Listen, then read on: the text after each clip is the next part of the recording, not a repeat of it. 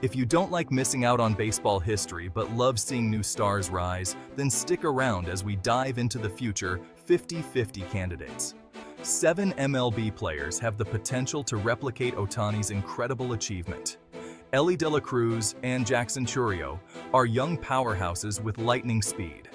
Bobby Witt Jr. and Ronald Acuña Jr. have already shown they can go deep and steal bases. Jose Ramirez's consistency and Oneil Cruz's raw talent make them contenders too. And don't forget about James Wood, another rising star to watch. Achieving 50 home runs and 50 stolen bases in a season isn't easy, but these athletes might just have what it takes to join Ohtani in the exclusive 50-50 club.